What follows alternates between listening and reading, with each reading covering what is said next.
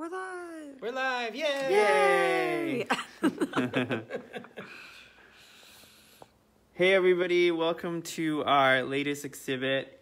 Uh, today we're going to be doing our virtual tour for Queer y Que, in other words, queer and what. Um, we're going to be walking you through looking at all the different pieces that we have. We're multicasting to Instagram and Facebook. Woohoo! Sorry, Twitterverse, you didn't work for us. Yeah. We Twitter have a- complications. We have a pride crew here. Me, JC, Laura's here, hey. and Patrick, our fearless leader. Hello, everybody. And we're going to be walking you through our show today. Yeah, well, and we want to do a quick shout out to um, all the amazing artists who participated in this exhibit Anthony, Luciana, Daniel, Ricky, Jesus, and Juan Carlos himself. Um, and we'll be showing you artwork of all of these folks shortly as we go around. Uh, this first piece is by Daniel Mena, um, and we absolutely love this piece. We're going to get it in a little bit closer close. so you can see it. All the little details. And this one was actually painted on one of those hardboard canvases. Uh, and so it's actually all hand painted.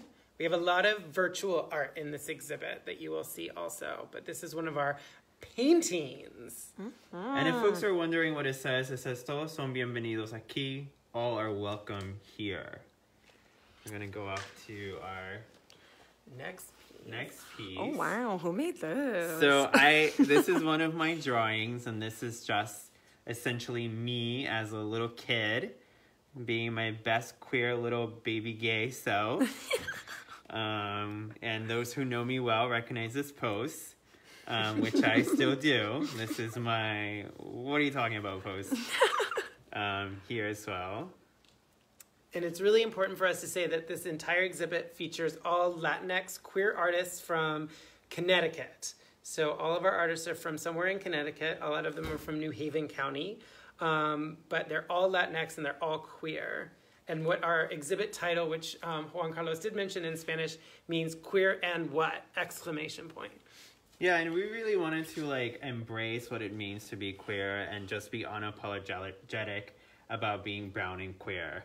Um, and then we go on to the now version of me, um, which is just me embracing just who I am. And if you notice, uh, the rainbow sort of uh, evolved as well with the black and brown colors that rainbows uh, have now. And it's it's also like just again me coming into that space of being unapologetically brown and queer. Snaps.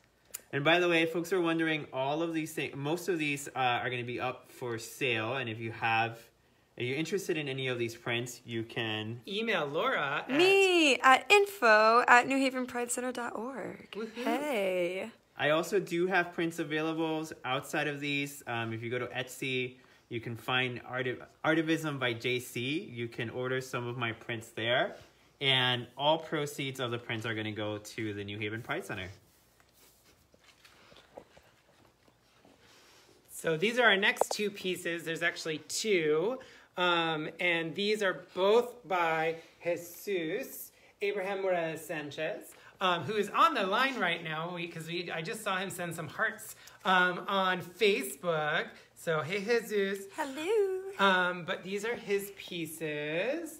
Uh, and both of these were created in response to um, one of those COVID art exercises that folks were doing on social media, where you were creating artwork every day uh, inspired by words or concepts. And so these were two of his pieces. Nice. And I believe, JC, these are going to be for sale, correct? Yes, these are also for sale, $15 um, for the prints. Um, and they're super beautiful. They're so. I love how colorful they are. I and know the colors are really vibrant. Yeah. Personally, I'm a big fan of the kind of unicorn hippopotamus. Oh, Clearly, we thought we were down here. but, um, yeah, that that's also it's pretty cute. adorable, yeah. You know.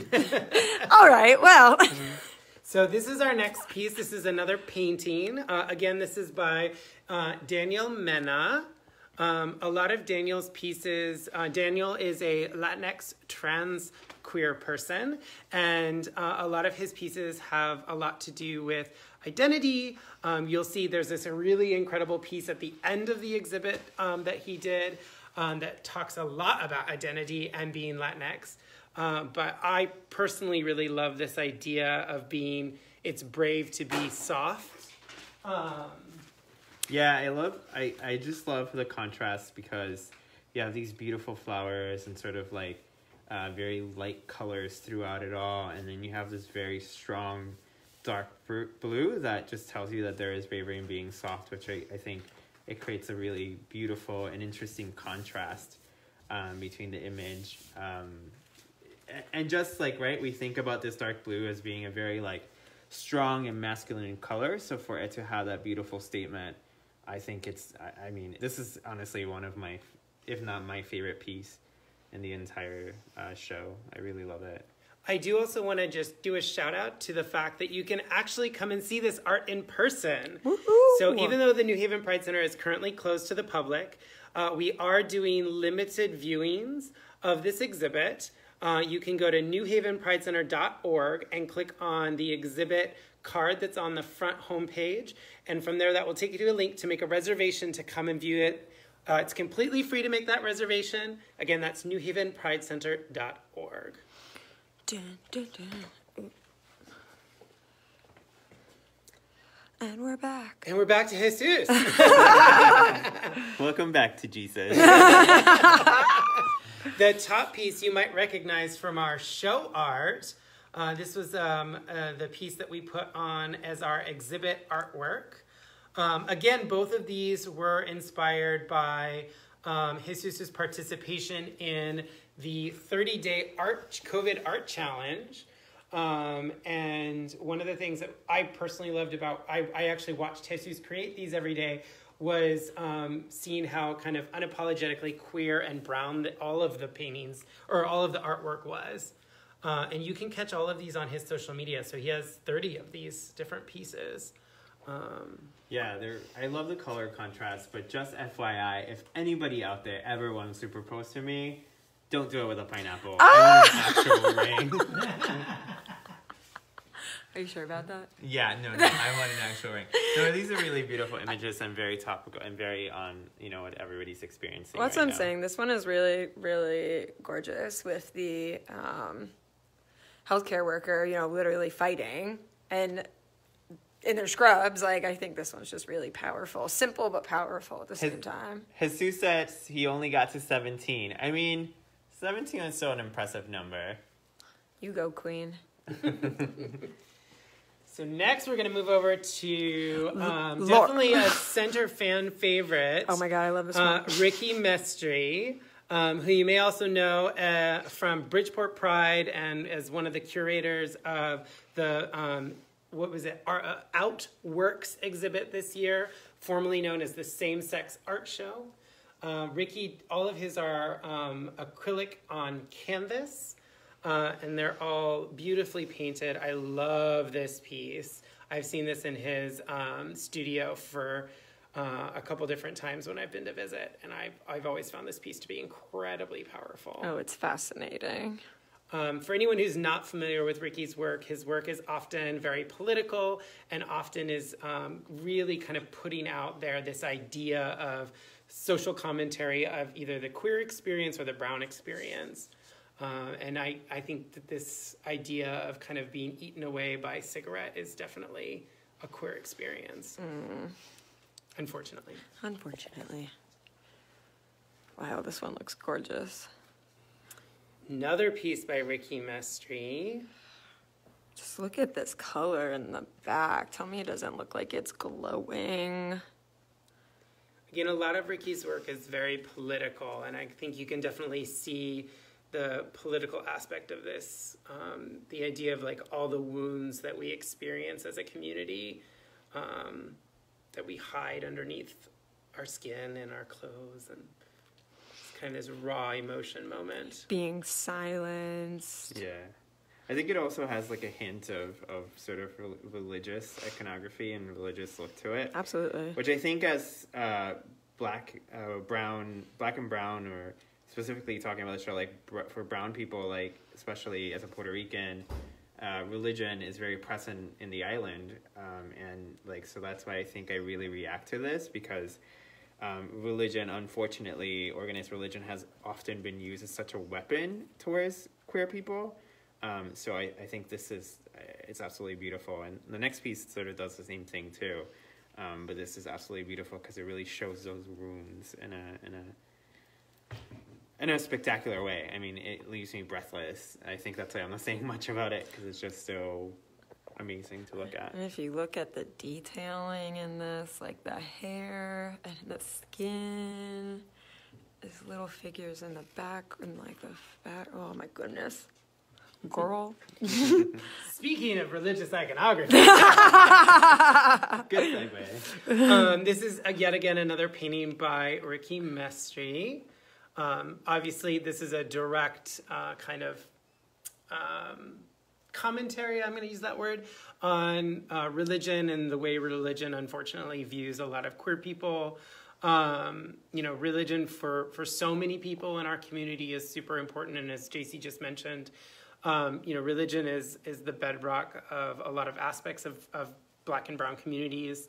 Um, and, you know, to kind of be shunned from something that maybe have been very important to you for, for something as simple as being queer. Yeah, this one is. Again, look at this texture in the hair. Girl, I wish my hair looked that good. That's all I have to say. Yeah. All right. Uh, this is just a window. Not, not this is our ignore our messy window. office. um, so we're gonna pull out really quick so you can see all three, and then we'll get closer. These, all three of these photographs are by Luciana McClure. Many of you may know her uh, from her incredible work with Nasty Women Connecticut, uh, which is an amazing partner of the centers. They're actually partnering with us on our next exhibit, which is Art Against Violence. Um, but these are three photographs um, by Luciana. Um, and uh, unofficially, I'm going to give a shout out to Luciana, who's also joining the center's board very soon. Um, so we can get closer now. I just wanted to give people the, the further perspective. Um, but yeah. This is my favorite. I just I just love this image so much.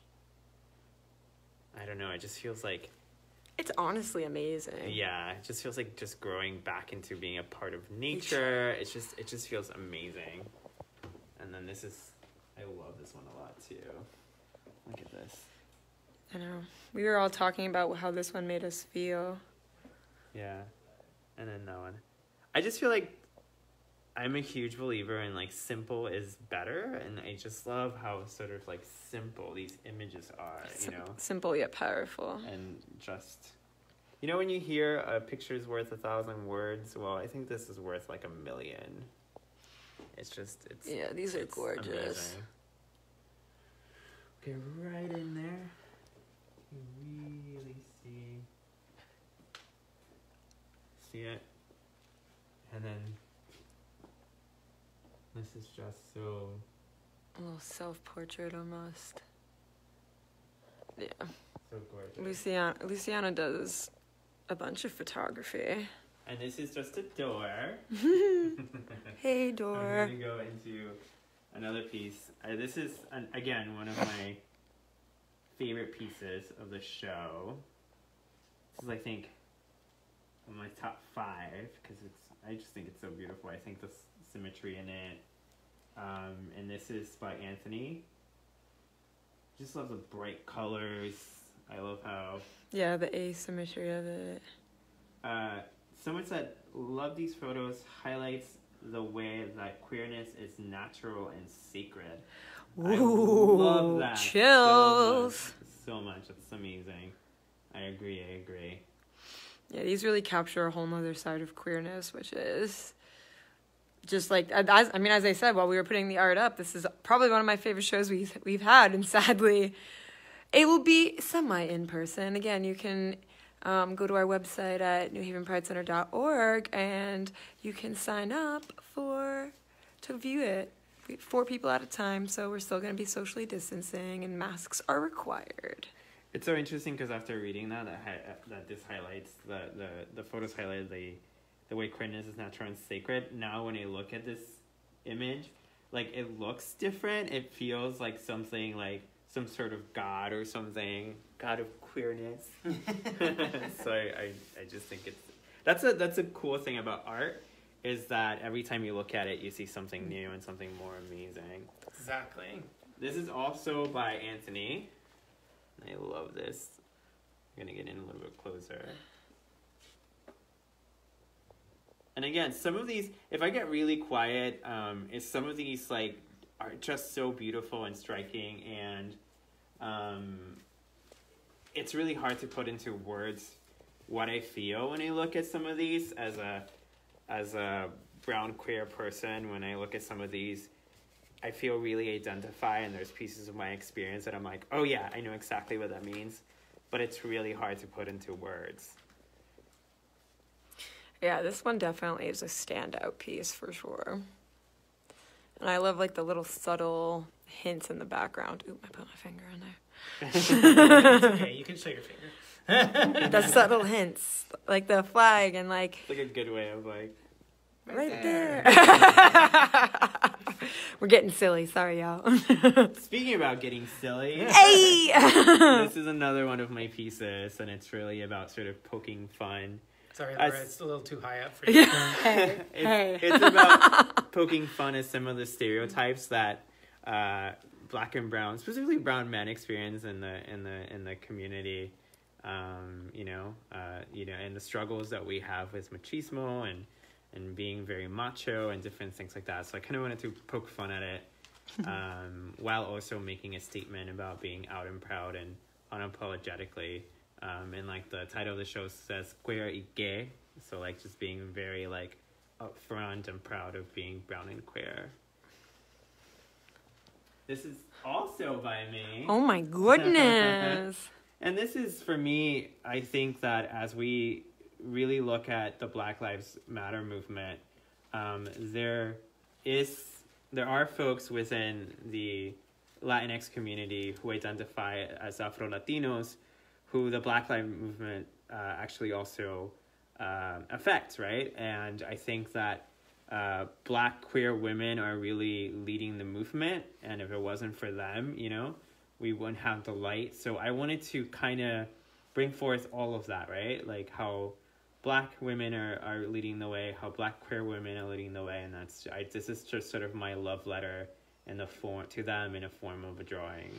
And I, I told you this when you first brought it in, but I love how you have all these people in the back. Like, it's just a really powerful image. Simple but powerful.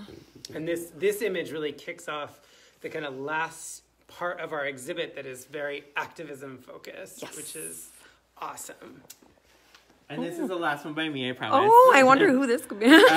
um, and again, for the uh, in Puerto Rico, there's a lot going on, um, and a lot of the women that are leading that movement are queer Puerto Rican women. So this is again a love letter to to them and the work that they're doing, and I wanted to to show them taking the lead and being bold and brave and fighting back, and, and that's really what this is all about. Carly says she loves it. Aww. This is uh, our final piece by Ricky, um, and this is uh, a super powerful piece. I think you know we we just passed the four year anniversary of the Pulse nightclub shooting, which at the time was the worst uh, gun violence uh, attack in U.S. history. Uh, since then, it's still in the top two or three, um, and uh, specifically queer men of color, queer Latino men were targeted by um, the Pulse shooter. Uh, and this was a piece that Ricky created in memory um, and to celebrate those lives. Uh, we didn't. We did actually lose a local person in Pulse. Uh, for anyone who is not familiar, one of our local DJs uh, from the Springfield area uh, was one of the 49. Um, and so our community, you know, mourned it just as much. But this signified a, a really important moment for for queer people, where you know queer spaces are sacred to us and we don't have a lot of them and to be attacked in one of our sacred spaces was very jarring for, for many of us. I can speak personally as someone who works in the club scene. It, it was very jarring and very scary. And um, still to this day, I think there are many of us that are affected by this moment. Um, and yeah, it's just, I think this is an incredibly beautiful and powerful piece. Absolutely. Just a reminder to folks, you can we we do have uh, times that you can uh, schedule to come see these in person, um, and that's by Going to newhavenpridecenter.org and quick over, click over to the exhibit, and right at the top it says make a reservation, and it's completely free. Um, we just ask for reservations because we're trying to make sure that we're following guidelines and keeping you and us safe. So this is the last piece, piece by Anthony, um, and I think we're kind of making that return to one co-host your piece from a few few back, yeah um, talking about the kind of Afro Latino, Afro Latina, Afro Latinx experience of the Black Lives Matter movement. yeah and the and the connection. You know, I think um, what's really beautiful about this piece too is that it's you can see how unapologetic you know this being in front of you is just letting you know that black trans lives matter and sort of yeah like uh like lucy lucy just said looks illuminated it's just just absolutely beautiful it's It looks like it's glowing, yeah. yeah The individual looks like they're glowing. yeah Like, it's just it's glorious it is glorious. and the detail like the colors I know. just- Look at all of this detailing in the face, in the back. Like, I'm so obsessed with the face detailing, like all up in here. So and again, gorgeous. I feel like I can usually talk more about art, but these feel so close to things, you know, that I've experienced, that I've lived as, as a brown queer man. Uh, again, the intent of the show is to really highlight uh, brown queer folks, uh, you know, uh, and their experience. So sometimes it's a little bit hard for me to put these things into into words because it's I feel more emotion than anything. But I hope that you are all enjoying them as much as we have been able to. Now we have our final piece. So this piece is by Daniel Mena, um, and the the piece is incredibly powerful. Um, the words uh, written on the kind of shadowy figure um, are really intense. Um, they directly correlate to the trans experience, and it's essentially all the things that a family member, specifically a parent or grandparent, might say to someone coming out as trans that are dark and, and maybe not what we want to hear. Um, Yeah, and folks, and I can I can tell folks a little bit. Um, people who don't read Spanish, um, it has things like, you know, why are you doing this? I didn't raise you like this. Um, no one will ever accept you like this. Wow. God uh, made God did not make you like this. Um, you can't stay here if you do that. How could you? Um, this is just a face. Uh, you will always be my daughter. Um, I didn't. I didn't uh, realize that that's what it said. Yeah, this is this is wrong. Holy. Why do you want to dress like a man? You're not a man. You're a woman.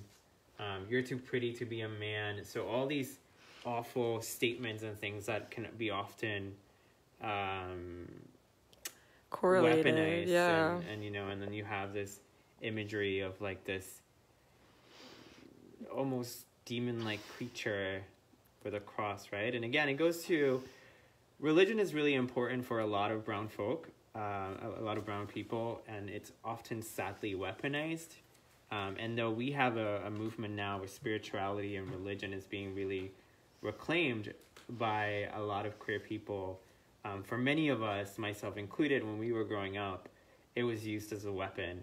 Um, a lot of a lot of in a lot of moments in our life. So yeah, this every time I, I read this piece and I look you know the words and I look at this piece, I get super super emotional. Um, so apologies for the phone sort of shaking um, because I haven't had these exact statements used towards me, but I have I've had similar statements used against me. Um, so this is this is just one of my favorite pieces. I know I keep saying that, but they're just so awesome. That's what I'm saying. This show's amazing. This show's so amazing. Yeah, I didn't realize that that's what this one said, and that hit me in the gut a little bit there. Yeah, Wow. um, yeah, it's it's just That's it's- it's impactful. stunning. So we hope that you enjoyed the show. Yeah, I'm going to do some final housekeeping. Uh, just again, thank you to our amazing artists Anthony Barroso, Luciana McClure, Daniel Mena, Ricky Mestri, Jesus Abraham Morales Sanchez, and Juan Carlos Soto. Um, again, you can come and actually see this exhibit in person if you visit newhavenpridecenter.org and make a reservation. Again, they are completely free. Uh, if you are interested in purchasing any of these pieces, including many of the prints are for sale, uh, and you can get information from that by emailing Laura at info at newhavenpridecenter.org. I also want to invite all of you to join us for an artist talk with some of our artists from the exhibit. Uh, we will be doing that later in August. It will be called A Queer and Latinx Perspective. Uh, and finally, we would just like to thank our sponsors and supporters of our art exhibits, which include the Arts Council of Greater New Haven, the City of New Haven Department of Arts, Culture, and Tourism, and the Community Foundation for Greater New Haven. Woohoo! And again, this is the New Haven Pride Center staff giving you a virtual tour of our exhibit. Queer y Que. Yay! Thanks for watching, y'all. We hope that we can see y'all soon. But yeah, And feel free to let us know which one is your favorite. We'd yeah, comment hear. on the videos, share the videos. You could even email us what your favorite is. and we will be uploading a, a digital copy of this virtual tour to our YouTube channel. Make sure you subscribe at New Haven Pride Center. Have a good afternoon, everyone.